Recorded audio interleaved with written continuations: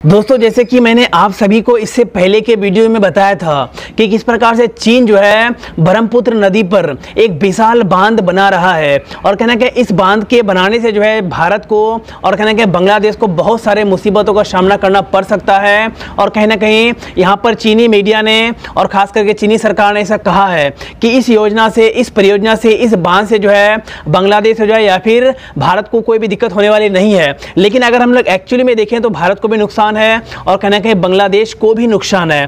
तो अब यहाँ पर जो है भारत सरकार जो है बहुत जल्द एक बहुत बड़ा चीज़ का ऐलान करने वाली है और वह चीज़ यह है कि अब भारत सरकार भी जो है ब्रह्मपुत्र नदी पर एक बहुत ही विशाल और एक बहुत ही बड़ा बाँध बनाने जा रही है। और कहना कहीं इसे हम लोग जो है चीन को टक्कर बोल सकते हैं। जिस प्रकार से भारत ने जो है यहाँ पर चीन को जवाब देते हुए उसी की भाषा में जिस प्रकार से चीन जो है ब्रह्मपुत्र नदी पर एक विशाल बाँध बना रहा है तो उसी पर प्रकार अब भारत सरकार भी जो है ब्रह्मपुत्र नदी में एक बहुत ही बड़ा बाँध बनाने जा रही है और यह बाँध होगी अरुणाचल प्रदेश में। और कहना कहीं इस बाँध के बनने से जो है, जितनी भी सारी यहाँ पर अरुणाचल प्रदेश के किसानों को, अरुणाचल प्रदेश के लोगों को पानी की दिक्कतें होती है, चाहे सिंचाई करने में दिक्कत होती है किसानों को तो तमाम चीज़ों की यहाँ पर ज़रूरत अब पूरी होने वाली है यह बाँध बंधने से। इसके बारे में भी फुल डिटेल में बताऊँगा और साथ ही साथ मैं आपको बताऊँगा कि जिस प्रकार से भारत के सैनिक और चीन के सैनिक जो है गलवान वैली पर जिस प्रकार से झड़प झड़प हुई थी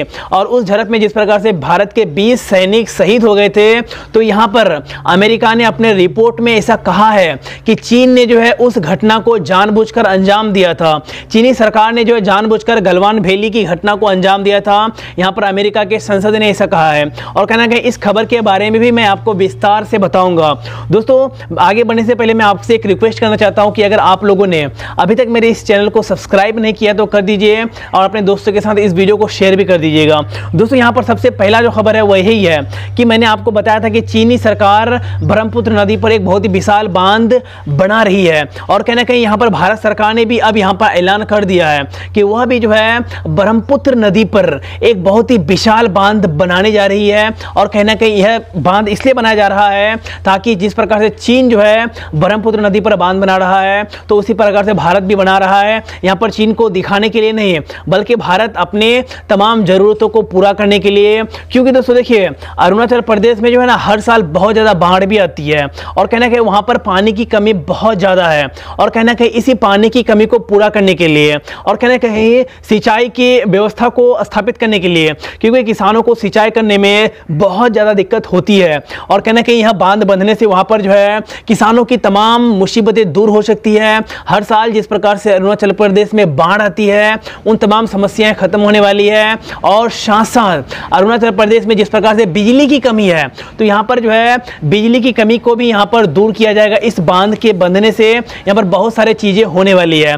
दोस्तों देखिए, यहाँ पर जो है, जब से भारत सरकार ने यह ऐलान किया है कि भारत भी अब जो है, ब्रह्मपुत्र नदी पर एक बहुत ही विशाल बाँध बनाने जा रही है और कहना कि यह बाढ़, यह जो परियोजना है इससे लगभग बहुत सारे भारत को फ़ायदे होने वाली है। तो यहाँ पर चीनी मीडिया को, चीनी सरकार को मिर्ची लग गई है। क्योंकि दोस्तों देखिए, हम सभी को पता है कि चीन हमें जलाने के लिए, हमें मुसीबत में डालने के लिए ही जो है, ब्रह्मपुत्र नदी पर एक बाँध बना रहा है। और कहना कहीं, जिस प्रकार से भारत सरकार ने यह ऐलान किया कि अब भारत सरकार भी ब्रह्मपुत्र नदी पर बाँध बनाएगा तो यहाँ पर चीनी मीडिया और चीनी सरकार अब जो है बिलबिला गई है, मिर्ची लग चुकी है और कहना कहीं इसका विरोध भी कर रहा है। लेकिन मैं आपको बता दूँ कि दोस्तों देखिए, जितना भी चीनी सरकार, चीनी मीडिया विरोध कर ले।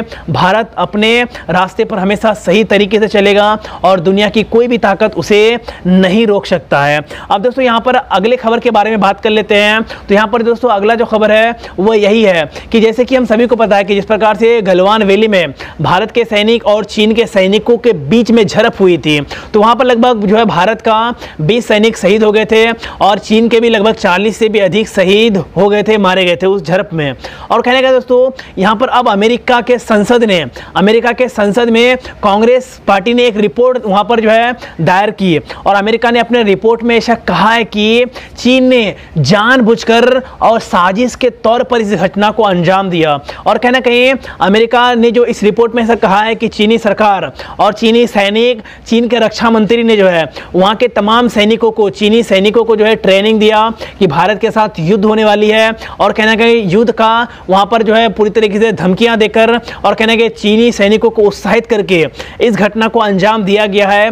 यहाँ पर अमेरिका संसद में, अमेरिका ने अपने रिपोर्ट में ऐसा कहा है। और कहने का दोस्तों, अमेरिका ने अपनी रिपोर्ट में यहाँ तक कहा है कि चीन जो इस घटना को अंजाम दिया था तो इस घटना को अंजाम देने का बस मकसद एक ही था। और वह मकसद था कि अपने पड़ोसी देशों को डराना। क्योंकि दोस्तों देखिए, चीन की जो नीति है, विस्तारवादी है। मैं आपको हर एक जो है, वीडियो में आपको बताता हूँ। और कहना कि चीन ने जो है, इस घटना से बस अपने पड़ोसी तमाम देशों को डराना चाहता था और कहना कि जिस प्रकार से भारत के 20 सैनिक शहीद हुए थे। तो यहाँ पर जो है, अब चीन ऐसा सोचता है कि भारत के जिस प्रकार से 20 सैनिक शहीद हुआ है तो तमाम पड़ोसी देश, जितने भी देशों के साथ चीन का सीमा विवाद है, वह जो है चीन से डर रहा होगा। लेकिन ऐसा कोई बात नहीं है। चाहे चीन जितना भी अपना विस्तारवादी नीति को फैला ले, अपने सैनिकों को जितना भी उत्साहित कर ले, लेकिन हमारे देश भारत से कभी नहीं टिक सकता है। हमारे देश भारत से अगर वो उसका कभी युद्ध भी होता है तो हमारे देश के सैनिक भी लड़ेंगे और हमारे देश के हम जैसे नौजवान भी लड़ेंगे हमारे देश के लिए। और कहने का दोस्तों यह चीन भूल रहा है। और कहने का अगर सोचता है कि भारत के 20 सैनिक मरने से, भारत के 20 सैनिक शहीद होने से अगर भारत डर जाएगा तो यह उसकी बहुत बड़ी गलत फहमी है। भारत ना कभी डरा है, भारत के सैनिक ना कभी डरे हैं और न भारत के नौजवान कभी डरे हैं चीन से।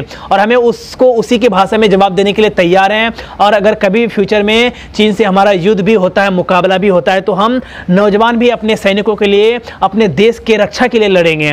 अब दोस्तों बात करते हैं कि आखिर अमेरिका ने अपना रिपोर्ट में खुलासा क्यों किया? दोस्तों देखिए, अमेरिका जो है ऐसी घटनाओं के ऊपर अपना रिपोर्ट लाते रहता है और कहने का अमेरिका जो यह रिपोर्ट लेके आया है तो यह पूरी तरीके से हंड्रेड सही है। क्योंकि इससे भी पहले भारत और चीन के सैनिकों के बीच में कई बार झड़प हो चुकी है।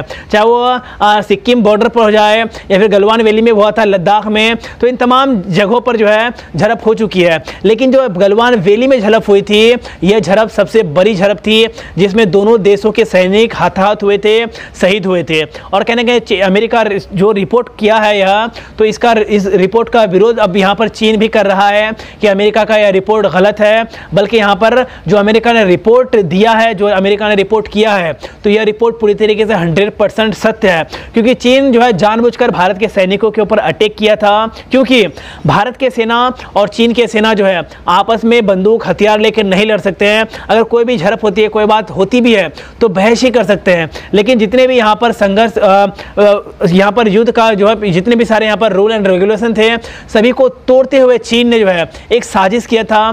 चीन की रक्षा मंत्री ने एक साजिश किया था और कह गया चीनी सैनिकों को धारदार हथियार दिया गया था ताकि भारत के सैनिकों के ऊपर, भारत के नौजवानों के ऊपर अटैक किया जाए, सैनिकों के ऊपर और उसे मारा जाए, घायल किया जाए। और कहने का यह पूरी तरीके जानबूझकर साजिश के तौर पर चीन ने इस घटना को अंजाम दिया था। ऐसा यहाँ पर अमेरिका का कहना है। अमेरिका ने अपना रिपोर्ट में ऐसा खुलासा किया है। तो दोस्तों, आप लोगों को इस बारे में क्या लगती है? अगर आप लोगों को यहाँ पर कुछ भी डाउट है और मेरी बातें आप लोगों को अगर कुछ भी समझ में ना आई हो तो मुझे इस वीडियो के कमेंट में आप अपनी राय ज़रूर दीजिएगा। तो गाइज़ अगर ये वीडियो आप लोगों को पसंद आए तो इस वीडियो को लाइक कर दीजिएगा, अपने दोस्तों के साथ शेयर कर दीजिएगा। तो गाइज़ फिर मिलते हैं नेक्स्ट वीडियो में। कल तब तक के लिए दोस्तों, जय हिंद, वंदे मातरम।